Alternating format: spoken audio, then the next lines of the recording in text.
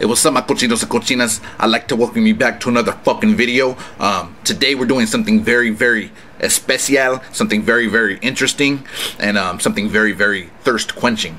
Um, it's Thirsty Thursdays, so I wanted to go ahead and bring this to you. Um, it's a water mukbang. Now, I know what you're thinking. That doesn't make any motherfucking sense because mukbang in Korean means eating show. So you're saying you're doing a water eating show. So how are you going to eat the fucking water? Well, Mr. Uh, smart Guy and Mrs. Smart Guy. Um, I'm not. I'm just going to drink it, and um, I really don't have any other explanation besides that.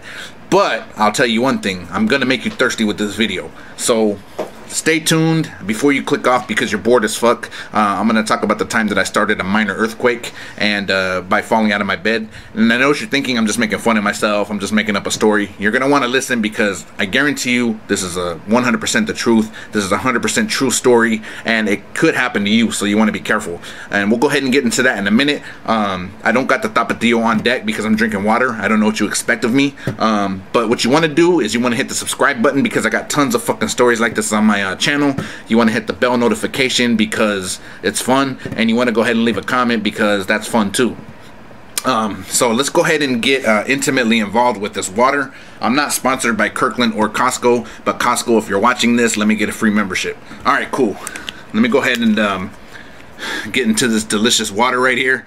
It's uh, it's water and shit. So yeah, let's go ahead and do it. Mmm. Hell yeah, homie. Hell yeah.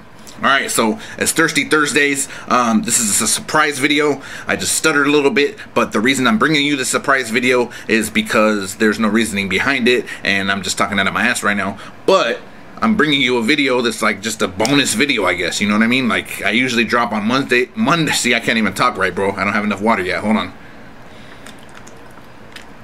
All right, now I can talk clearly. I usually bring you videos on Mondays, Wednesdays, and Fridays, but um, bringing you this bonus video because I'm distracted. Uh, I heard something outside. Uh, it's daytime, but I'm still scared of monsters. All right. So, about 16 years ago. So let me minus that for my age. I, I was like around I was around negative 16 that I am today. So whatever that is, I don't know. But um, I was about 16 years ago. The reason I know that is because in my mind, mathematically, it makes sense. Um, so about 16 years ago, I was about 21 years old, and I lived in Hesperia. So I'm not sure if you're familiar with the area, but it's in California. It's a high desert area, um, and it's not the best place to live, but that's where I was. So I was out there in that dry area and community. Let me go ahead and dig in a little bit here. Mm. And I was looking for a house. So I was on a, like a long-term construction project that I was doing out there, and I wanted to live in the area rather than traveling back and forth to Stockton. So I'm like, you know what, fuck it, I'm gonna live out here. Let me just find a nice house. At the time, the real estate market um, wasn't too bad, so I was like, you know, maybe I'll find a good ass fucking deal. So after thoroughly searching the area for a good deal on a house, I uh, went ahead and found a couple that I had to look at. So I looked at one and I thought, you know, this one's decent, but the price was just a little bit too high. You know what I mean? Like I like getting high and I like getting too high, but I don't like paying too high on my houses. You know what I mean? So um, I didn't want to do that. So I was like, well, you know what? Let me look at the other one that's like 50,000 less. You know what I mean? I'm sure that it's probably shit, but you know what I mean? Like, let me at least check it out. Bro, I think everybody who saw, who saw the listing probably thought the same thing. Like there's no way you know what i mean? This house is probably shit. 50000 less you know? A fucking uh somebody got murdered in it or something you know? There's ghosts and shit. So that's not what the reason was but that's probably what people thought.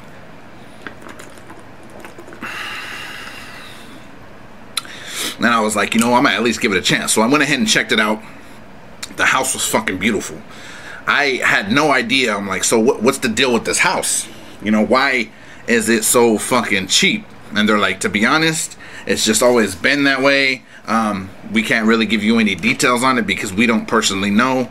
I'm like, that doesn't make any sense. You're supposed to know the history of the houses that you sell. You know what I mean? Kind of like when you get a new Heina or whatever, you want to know that her sex history to see how many dudes she's banged. You know what I mean? Because if you're like, let's say you're only like six inches or some shit like that. You know what I mean? And she's banging like 16 dudes.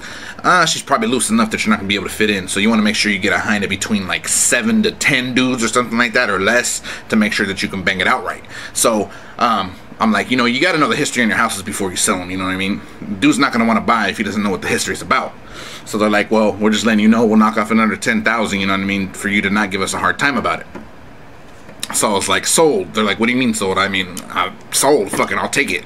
They're like, are you sure? I was like, how are you gonna ask me if I'm sure? You don't want your sale? Like, what kind of salesperson does that? Have you ever went to, let's say, a car dealership and said, I want that car, and they're, you know, they they sold everything. They told you all about the car, and then you said, okay, I'll take it.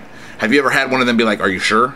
Like that's, I mean, you're taking away my confidence, but yes, I'm fucking sure. You know what I mean? I told you I want the house. So, anyways.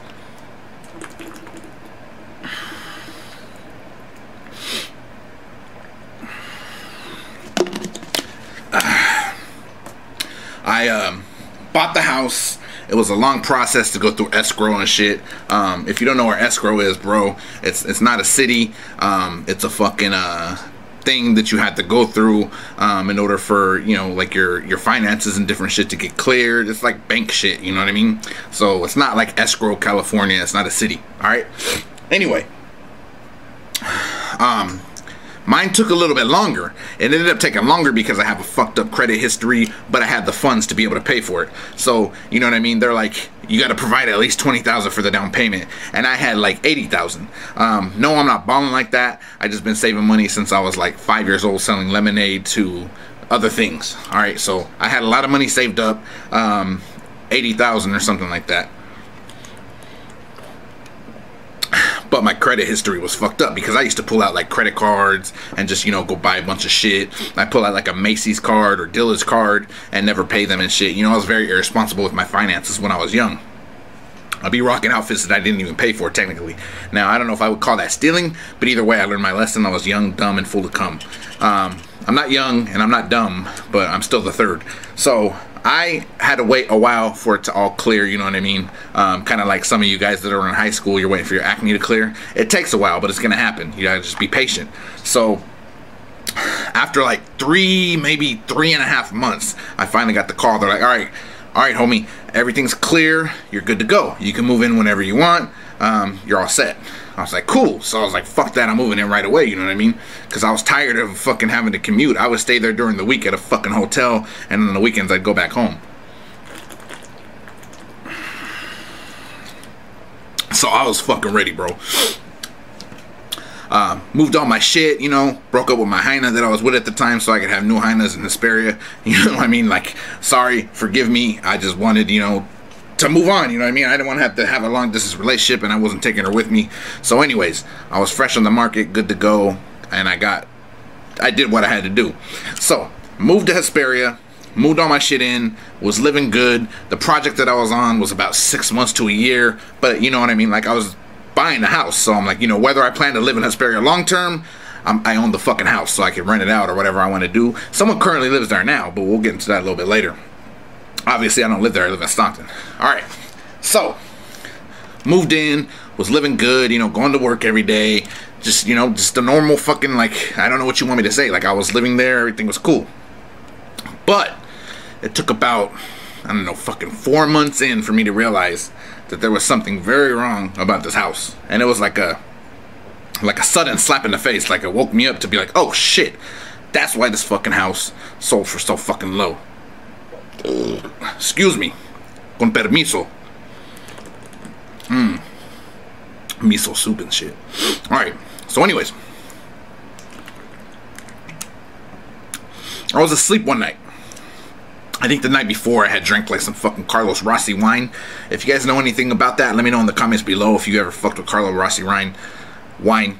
Um, and uh, yeah, just let me know because that shit'll have you feeling like you're on a fucking boat and you're on a sea and the sea is going crazy and shit. You know, the waves are fucking going crazy.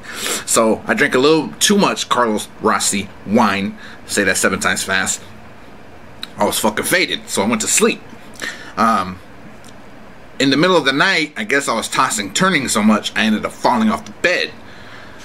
So really pay attention to this because some of you guys are going to think I'm bullshitting you, but really pay attention. If you know science, you know how it all works, you know how earthquakes work. So I fall off the bed in the middle of the night because I'm fucking, you know, tossing and turning, drunk off that Carlos Rossi wine. I fall off the bed, I land on the ground. As soon as I land on the ground, the whole fucking house starts shaking and shit. I'm thinking that it's, you know, just part of my buzz, but I see shit falling off like my fucking dressers and shit. I'm like, what the fuck is going on, homie? Um, it lasted a good 30 seconds, bro. I barely made it to the kitchen, you know what I mean? To, uh, back then, you know, I didn't have a cell phone. I just had like a home phone. So I barely made it to the kitchen to be able to call and be like, what the fuck's going on? You're probably thinking to yourself, who'd you call, bro? Um, I'm not going to lie to you, bro. I ended up calling um, a prayer line because it was like the 700 Club prayer line or something like that because, you know, I needed Jesus at that moment, bro. I didn't know what the fuck was going on. All right, so anyways, it passed and I kind of was like, you know what, bro, I'm too fucking hungover to figure out what's going on. So I went back to sleep for another 13 hours, right? Once I woke up, I saw on the news that there was an earthquake in the area. And I had a bunch of fucking motherfucking like police and investigators at my house, um, and I didn't know why. I'll tell you why right now, homie. I'll tell you why right now. These motherfuckers are at my house and they're asking me questions and shit. Come to find out that this house was built on a fucking fault line, bro. This house was built on a fault line. They knew it. They acted like they didn't know, like it was just brand new news to them. But come to find out, it was built on a fault line and a very sensitive fucking fault line at that. And I know what you're thinking. Nah, it wasn't sensitive. It was probably just you're just fat as fuck and you landed on the fault line. You shook the whole earth or something. You know, aside from the jokes and shit, I landed on the fault line. Anybody could have landed on it and it would have made that fucking happen. I guess it just had pressure that was built up. It was ready to just fucking shake. So it was like a minor earthquake, you know what I mean? It shook the area a little bit, tore down a couple houses and shit, but nothing like crazy, you know? It didn't destroy the city, you know what I mean? It wasn't like a magnitude that was all over the news and shit like that. So you may or may not have heard of it. I'm sure you could do a Google search. I'm sure you can Google. I'm sure you could do a Google search. Search. Can't even talk right on me. I think I need more water. Hold on.